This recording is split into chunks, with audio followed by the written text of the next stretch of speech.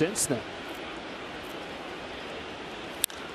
Turner hits a high fly ball to deep left field, sending Saunders back to the corner. It's a fair ball and a home run. Turner's first of the season gives LA some insurance against Toronto in the eighth.